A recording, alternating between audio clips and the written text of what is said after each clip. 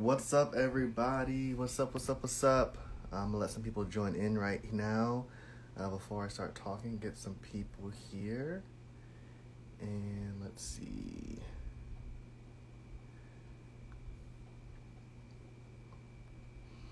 Here we go, waiting for everybody to get active. Let's see, let's see, let's see. All right, so people are coming in. People are coming in. All right, this is the Royal Rhymes recap. I am your host, Slight the Poet. Uh, if you didn't get a chance to check it out on Thursday, we had our newest episode of Royal Rhymes air on the GoBU.tv app, uh, giving you poetic lines and the reasons why. We had a phenomenal guest on the show, Mr. J. Rose. Uh, he came by, dropped some fire. Um, poems are good. I wish that I wrote it. And we just kind of talked about the poem, talked about his journey, and, and lots of great things. So just wanted to recap with him. And I see he is in the building, so let me go ahead and bring him in, which I forgot how to do that. Oh, here we go.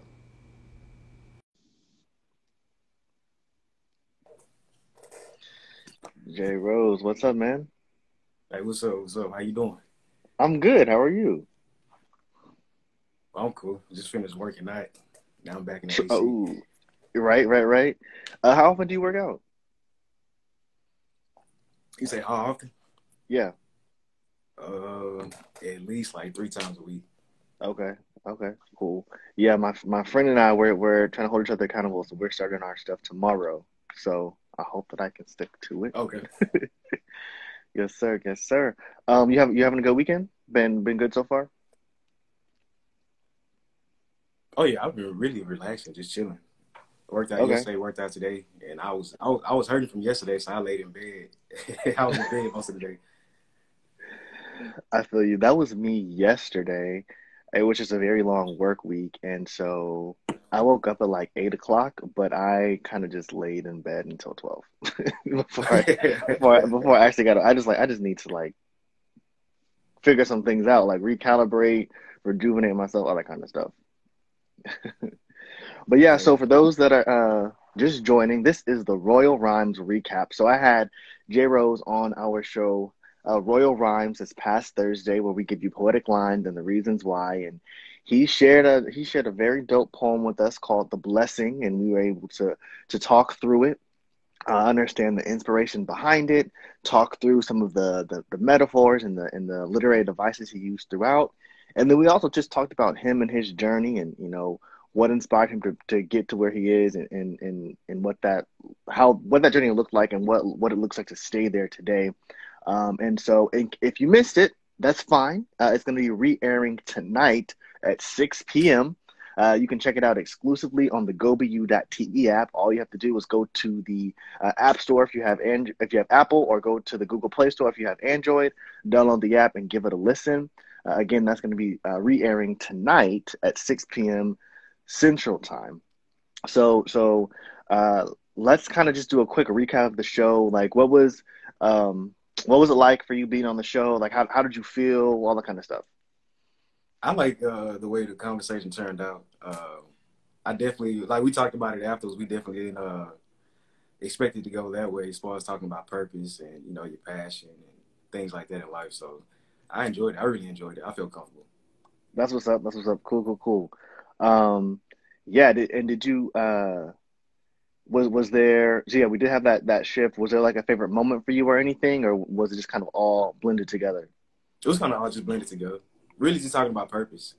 Yeah, yeah, yeah. No, I, I appreciated that that purpose talk as well. I think I mentioned it on the show. It was it was very um, encouraging and like spark giving to me and, and just and just my journey um, right now. Um, so yeah, it was it was it was good. It was good. Um, yeah. Uh, so another another thing um, I wanted to ask you. So uh, moving moving on into uh, I guess just this next week and just the next things you have, like what kind of what kind of things do you have coming up in the, in the future with with poetry, with with um, your merchandise, with with you and being an entrepreneur? Like, what's what's this next season look like for J Rose? Um, just stepping out more and being myself. Like someone sent me a, uh, it was someone's Instagram about uh, it's like skating. So that's one thing I like to do on the side. Mm-hmm. It's, it's like one of my favorite hobbies is to skate. And even just having skating lessons or having my own brand of skates, you know, and that came from just following my passion as far as poetry. And yeah. just opening that branch up, working out, you know, working out with people. And as far as shows, I'm still going to keep um, just dropping videos on YouTube. Mm-hmm. Um, we're gonna have like a few events like weddings and stuff, and uh, okay, yeah, um, and for those just joining, uh, if you have any questions, feel free to do the question thing, and, and you know we can talk about it. Um, so when you do, when you do, have you done weddings in the past? Yeah, yeah, of course. So when when you do weddings, do you do you write a poem for that couple? Do you share one of your already written poems? What does that look like? Uh, sometimes they they request a blessing. A lot, a lot of people request that one, but um, I've helped people write wedding vows. Um, and that's mm. that's usually going back and forth and sharing notes. I want to know about like I basically become a therapist. Hey, when did you meet? You know, yeah. how do you feel about that person compared to when you first met them? So I've done it's opened so many doors, and I never thought I would end up writing like wedding vows for someone. Right, you know? right, and, wow. and, yeah, and there's certain things that like that that happened in the past. So you know, I, I can't even just limit myself to just getting on stage and you know recite my own poetry. Yeah, no, I hear you. Do are you have you ever uh, thought about like running out of words or like running out of, of things to say about love with doing a lot of other other people's weddings and, and vows and stuff? No, because I think everyone's uh, experience is different. Mm. Yeah, everyone's experience is, is, is, different. So, uh, even uh, one wedding with my cousin, like I'll just, I even though I did the blessing, their experience is like totally different. But he, they just mm-hmm. people love that poem so much. But usually when I sit down and I get inspired by certain people, the, the every each experience is different. So people mm. impact me in certain uh, different ways. That's no, I, I feel you on that. I feel you on that. Yeah. Um, and and that's definitely a good way to to uh look at it because love is like this universal thing, but like you said, everybody has like different reactions to it and different perspectives. Mm-hmm. So it it um it's the same, but like it might sound a little different or like look a little bit yeah, different, yeah. but like it's still encompassing those same those same qualities and stuff. Yeah, like cool, with cool, um, I'll say with like my mom, she been she she's more spiritual. She's a praying woman, so I may talk about that. You know, if I met a young woman that was like my mom, I would talk about the praying part of her, that that mm-hmm. praying aspect.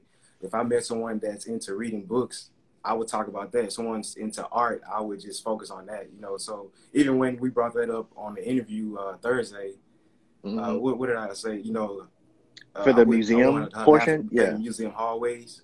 You know, yeah. so it's things like that that'll that'll spark certain uh, inspirations for me to write. So. I hear you. I hear you. Okay. Cool. Cool. Cool. Cool. Um. So uh, that's that. Are you are you working on any new poems right now? I just finished one, but uh, I'm going to drop it this week. I'm trying to memorize it right now. Okay, um, okay. Yeah, can we can, can, we get a little a little sample, like a, a couple lines? no, I just I want to wait to drop it. That's it. Okay. It's probably like Wednesday. I, will be I'll be ready. And I'm gonna make okay. a video for it too. Okay. Okay. That's that's cool enough. I I I understand. I I I'm similar, but I figured I figured that I would ask um, and see okay. if um, if you were willing to share and stuff. Um, yeah, for those of you just joining, uh, feel free to ask a question in the question box, and we that's something that we can talk about as well uh, as we just continue our conversation. Um, so Jay, let's see what else. What else can we talk about? Do you have any other um, short poems or uh, poems that uh, you want to you want to share during this time? Um, what about the one? Uh, let me see, short poems. What about the? Uh, did you hear the hide and seek? Uh, I listened to it. I cannot remember it. okay, I can do that one. All right, let's go for it. Three nights in a row. Uh, I awakened from cold sweats from chasing the same dream. Then I started to cry because I kept I kept waking up in my favorite scene. I was standing in front of my father about to ask a couple of questions. But before I started the Q&A, I just started confessing. You planted a seed expecting a flower, but ended up with a rose with thorns a little rough around the edges, but the center could easily be torn. And sometimes I don't like smiling because they say I look just like you. And when I look in the mirror, I see a man I barely even knew. I never heard my heart speak this loud. I just want you to listen. A part of me is lost, and you're the other half that's missing. Before I could say another word, he disappeared into thin air. I stood up all night fighting the shadows in my head to see if he was really there, or if he even cared. Second night, I dug a little deeper and proceeded with the questions like, where you been all my life when I was born? Did you consider me a blessing? Why did you leave me? And are you happy with what I become? I know you have other children. I just want to know, am I your favorite one? Part the last question I just thought I should mention. I know you have other children. I could use some attention. Still nothing. He just faded away. So I went back to sleep to get ready for the next day. Last night he didn't show, but he revealed himself to me. There's nothing more powerful divine than hearing God speak. He said, I will never leave nor forsake you. Look at all the blessings in your life. How could I hate you? I never left. I'm the best father you ever have. I just ask for your best and I'll take care of the other half. And it takes a wise person to turn adversities into testimonies. And that's what you become. And out of all of my children, you are my favorite one. You've been through hell and back. And I just want you to see that all this time you've been searching for a man. You're supposed to be looking for me. Ooh. yeah. Now after that second one, I was like, no, I remember this one. Wow. So, um, yeah, that was that was a lot. Um, walk us. Okay, before I say anything, walk us through just inspiration of that piece and, and kind of where where you were at the beginning versus where you were at the end because I, I I'm getting that you were in two different places. Okay. Um that's a good question. Um one of my friends actually she wanted me to write about she wanted me to write about dad. And she had lost him at the time and she she was just like, Hey, can you write something? You know, that was like tailor made for her mm. at the beginning. And then I started to just add my own things, like even having a dream it was an actual that was the actual dream that I had, not the the father part, but it was about somebody else in my life. Mm-hmm. So I just added those. I, I, look at my poems. I would add like secrets in my poems. So when I spoke about the dream, that was the actual dream that I had three days in a you know three nights in a row. I wake up from cold mm-hmm. sweats. So that was something I actually had, but I just put I just made it tailor made for her. And then at the end, it was I started to look at my own life and how God played you know played a major factor as far as having uh, men in my life that stepped up. You know, I couldn't just look at this one person and say, "Well, you you were you weren't in my life," and think you know you weren't in my life, but other people had did step up. It could have been my uncle, it could have been a pastor, it could have been anybody. Got you. Yeah. So, so this poem you were writing for your friend about yeah. her relationship with her dad. Yes. Well, okay. And then you went through and put in some of your stuff, and then um, it switches and it's like, hey, you're looking for this man, but guys, like, you should be looking for me. Um, you said okay, yes, it's me. Okay. Um, wow, that was that was that was powerful because this whole time I was sitting here thinking it was it was you know your experience hundred percent.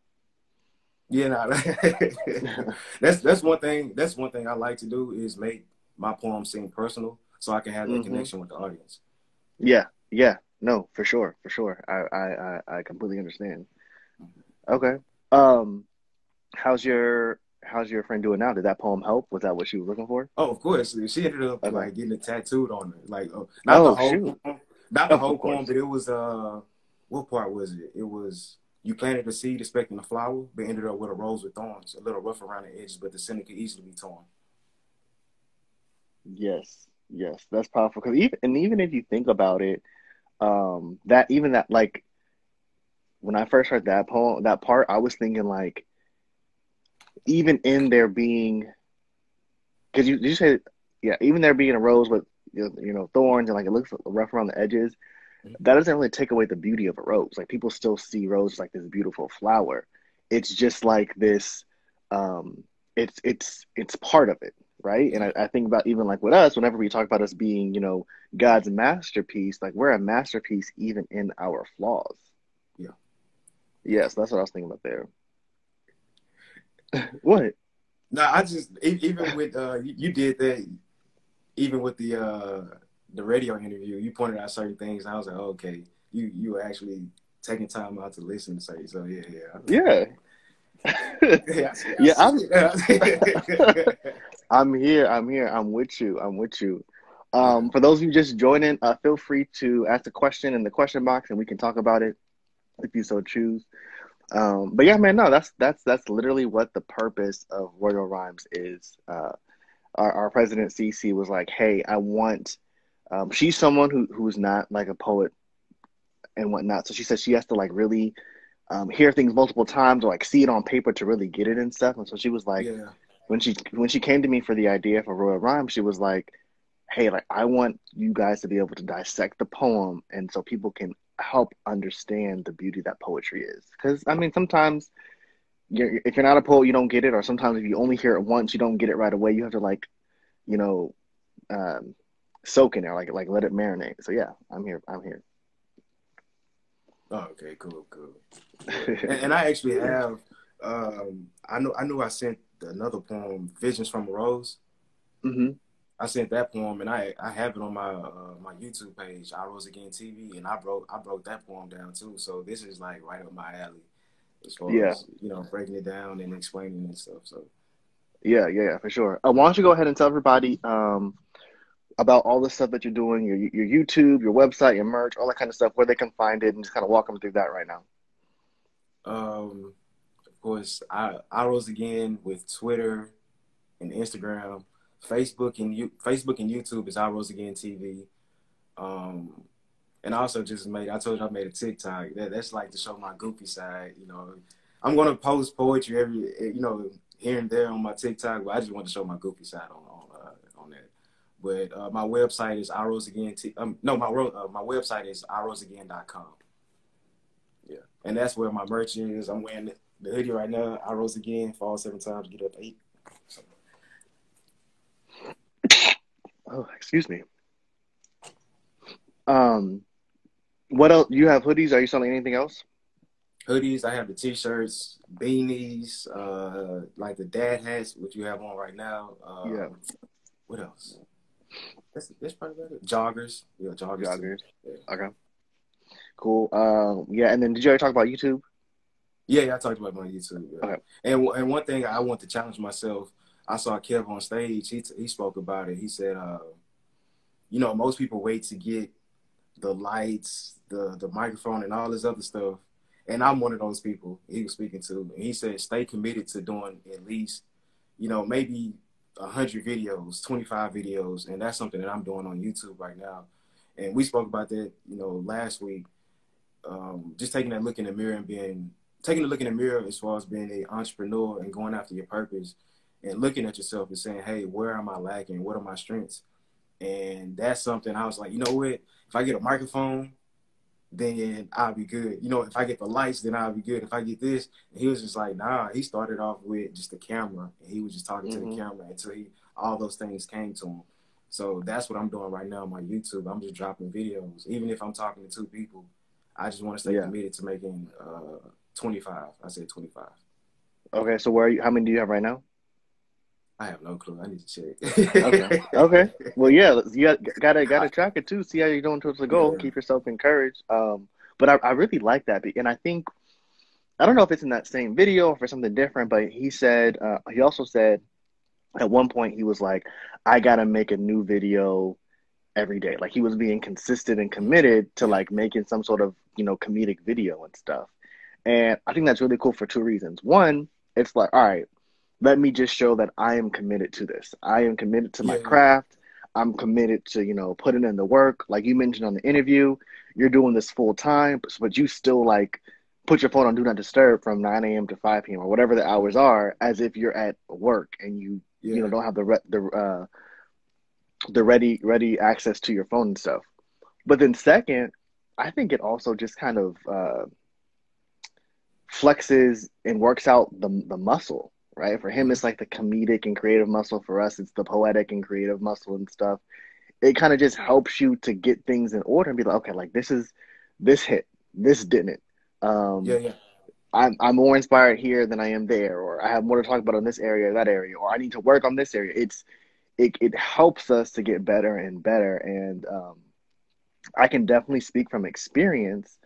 Uh, when I there was a season in my life when I was writing every single day, and like I I was it was very fluid. I've fallen off of that a little bit right now, so uh, I'm you know I'm so human, but I can think back to that season and like it was I was I felt myself getting better. Like I was seeing things in different light. So I think I think that's a, a great way uh, for you to challenge yourself and you know make sure that you're getting better. And even even making those uh TikTok, it, it does open this. You become like you say, you become more fluid. I don't know. It just opens up these creative juices, and mm-hmm. it did like even me being silly on TikTok, it makes me want to make more videos, and I have to get comfortable even doing these type of interviews and discussions and stuff, I have to get comfortable doing this because it opened doors for me to do uh, podcasting and things like that. It's not it's not just poetry anymore. People know me for that, but it's not just poetry. Yeah, yeah, for sure, for sure. I hear you. I hear you. Um, looks like we have a question right here from Taji. How you doing, Taji? She said, does it, does it show up here? Do you see it? I don't know how to work this thing. I'm I'm I'm like an old person right now. Oh, here we go. Okay. Uh, what's your favorite poem you've ever written and why?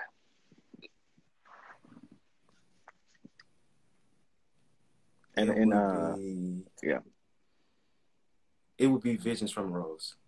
Vision from a Rose. Okay. Uh, so yeah. tell everybody what that poem is about, and then say why it's your favorite the poem is about I start off saying a seed was planted, buried in soil. It's literally about me being a young man to a grown man and um, just talking about my life and the things that I've learned. And I wrote that when I was like 21, 22. Mm-hmm. And I, I took maybe three, four years to write it because I was just like, okay, what am I learning right now? But it, it was just describing. I got it from uh Tupac that wrote the. Um, oh, I, I went blank. The uh, the Rose. That Rose yes, concrete. Yes, yeah, yeah. Yes. So I I looked at that and I was just like, all right, what if I was that Rose back in my old neighborhood?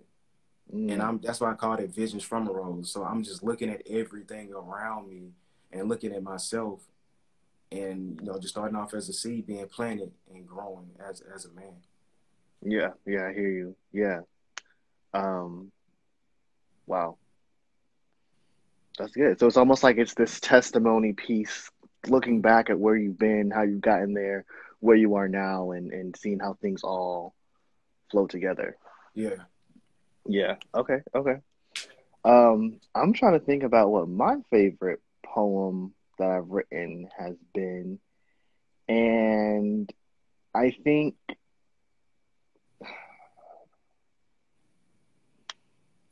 I'll go with the one that I probably share the most often. Um, and it is called "Do You Think of Me." It's a it's a love poem, and uh, it's literally just kind of going through, um, like, "Hey, I'm, I think about you all the time. Do you?" It, it's asking the question. I think about you all the time. Do you, do you think of me of me as much as I think about you?